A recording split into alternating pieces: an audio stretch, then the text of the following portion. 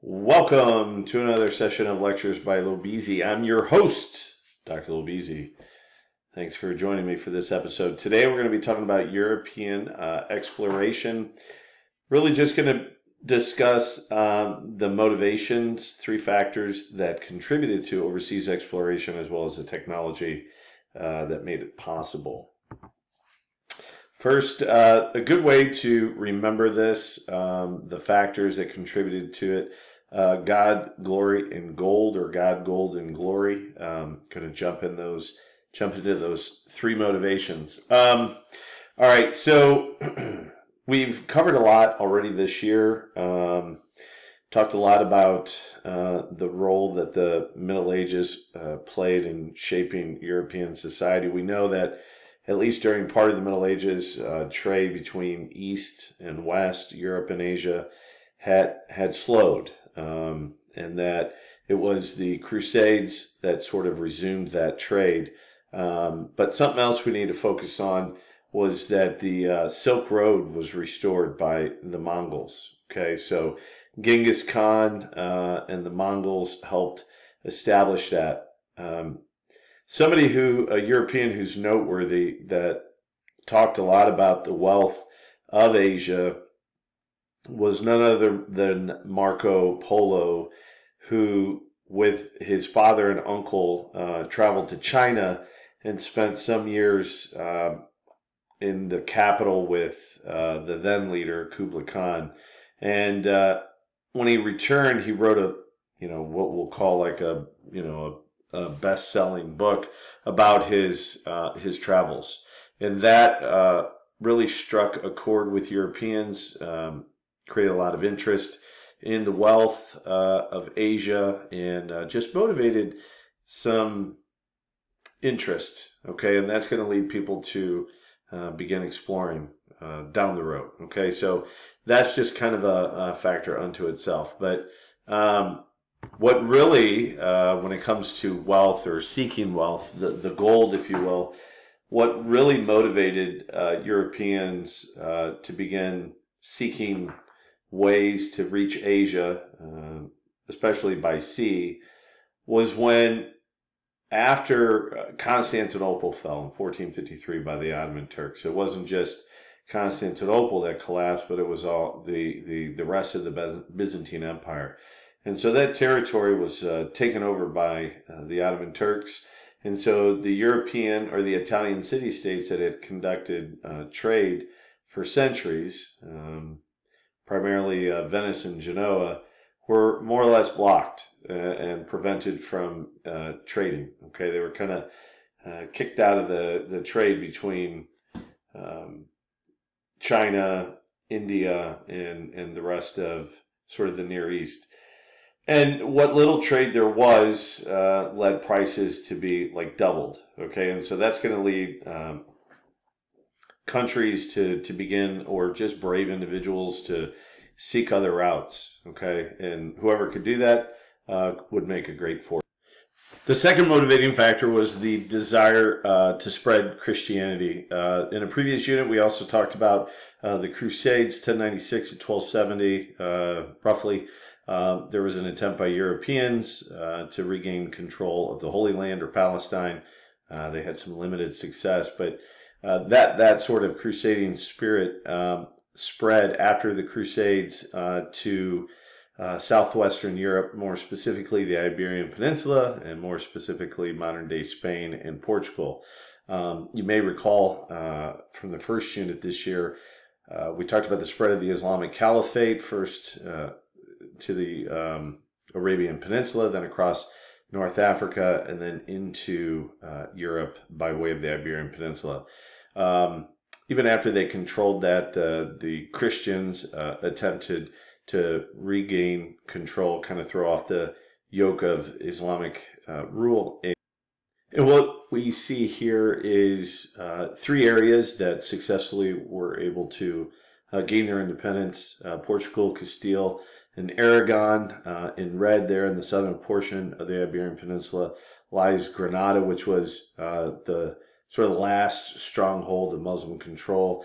And uh, it was, of course, uh, following the marriage of um, Isabel of Castile to Ferdinand of Aragon that they were able to sort of unite their kingdoms uh, to defeat uh, Granada and complete what was known as the Reconquista, the reconquering of the Iberian Peninsula.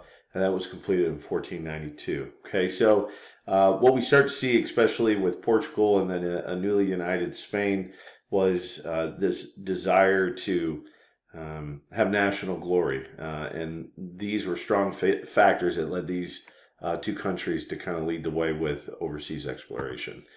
And more specifically, we want to talk about uh, Prince Henry and the Navigator. Let me move my head first, kind of out of the way. Sorry about that.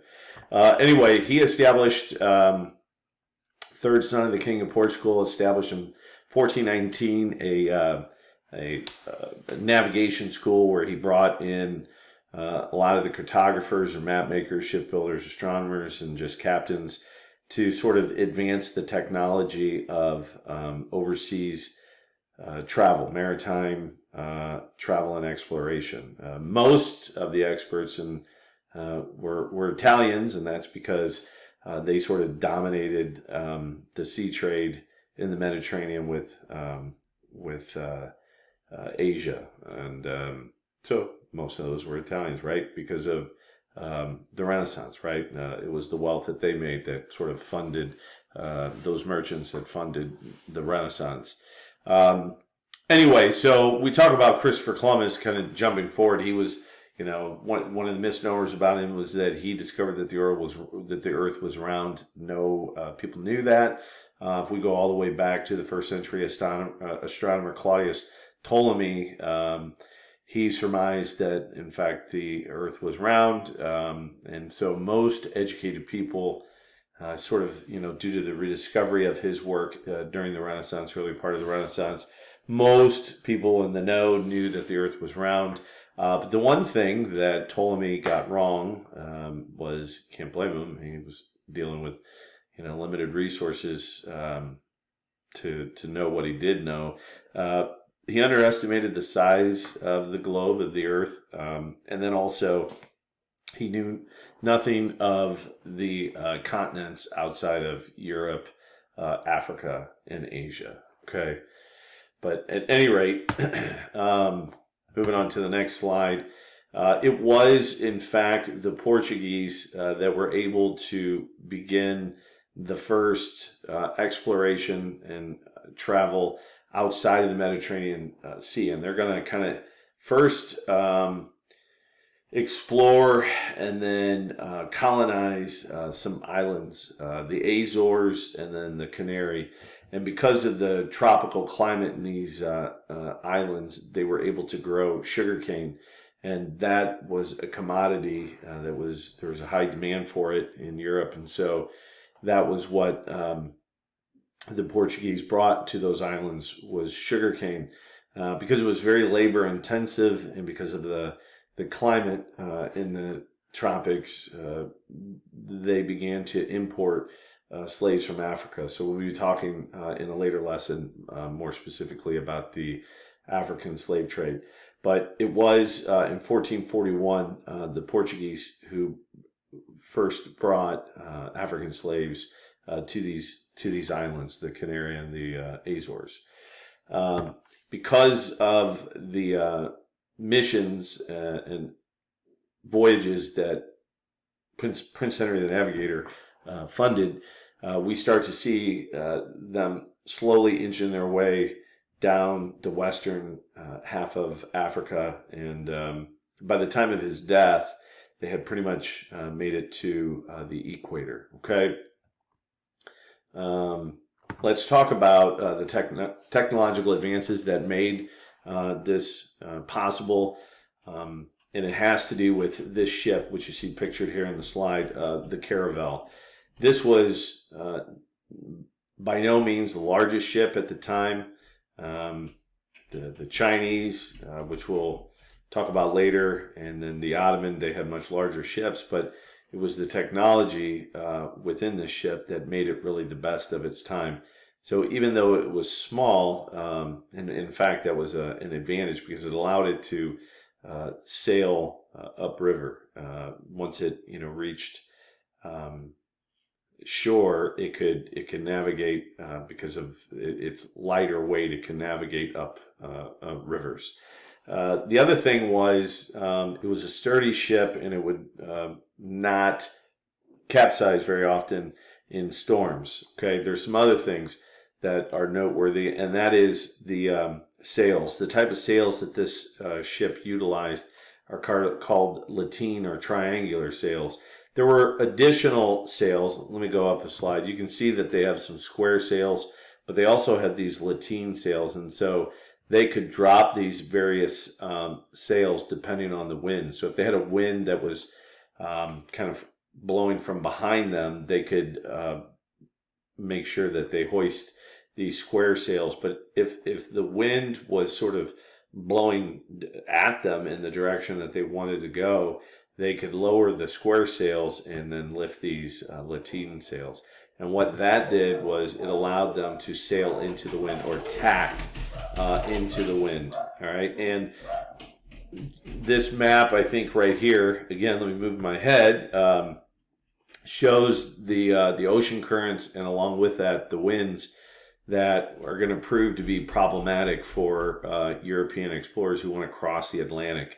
Um, so essentially, you have to uh, sail pretty far south in order to catch uh, the currents and the winds to to bring you uh, in a westerly direction, and then anything uh, north of that, the winds are going to blow back as well as the currents in an easterly direction. And so, um, at any rate, uh, but just having triangular sails will kind of allow you to sort of create a zigzag course, even in directly into the winds.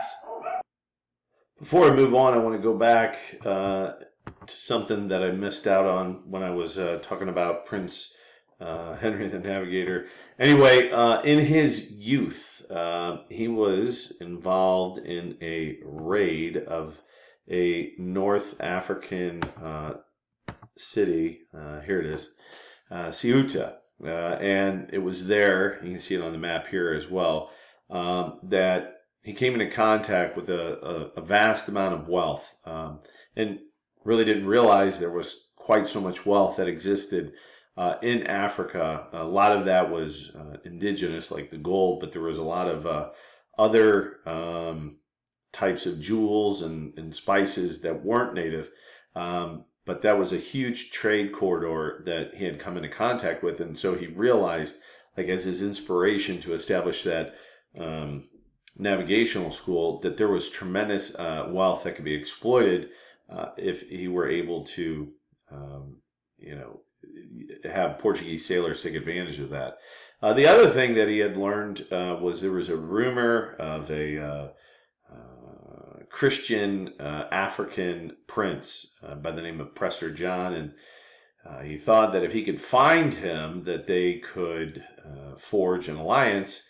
The, the the Portuguese could, with this Prester John and whatever his African kingdom was, uh, and the goal would be uh, to attack the Ottoman and uh, defeat the Ottoman so that they could um, kind of take over the Indian Ocean trade uh, or the uh, you know sort of like the the the, the Silk Road. Um, and so that's important uh, to note before we move forward. All right, going back to the technology, let's talk about some of the instruments that were needed uh, to make overseas exploration possible. And the first is something called an astrolabe, okay? And I have a couple examples uh, in, or illustrations below, but uh, uh not very familiar with these instruments, so I'm kind of going to wing it. But uh, the, the point is, when you're out to sea, uh, you have nothing to go by to um, you know you don't have the land uh, if once you get far out to sea and you no longer can see land it's difficult to have your bearings um, and so you're very dependent upon the sun um, for your navigation and then at night the, the night stars.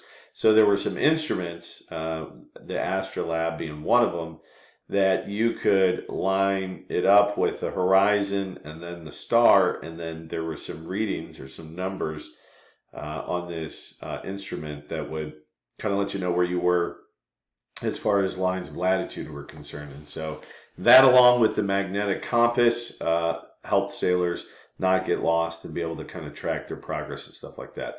Uh, and the next was um, a, an invention, uh, the axial rudder. So that goes in the rear of the ship, and that just helps um, provide greater maneuver uh, maneuverability. Uh, the other thing that the Caravel had, and I didn't mention it, was it's not really a technology. I guess you can consider it a technology. Was that these ships uh, had cannon uh, loaded onto them, and that they were the first of their kind to have that. All of the other ships that they encountered uh, did not have cannon, and so uh, once they uh, make their way around Africa and into the Indian Ocean, um, that feature is going to help them um, become more dominant and uh, drive out the Ottoman from the region. So that's really all I have uh, for this video. I appreciate it. Um, thanks for watching. See you next time.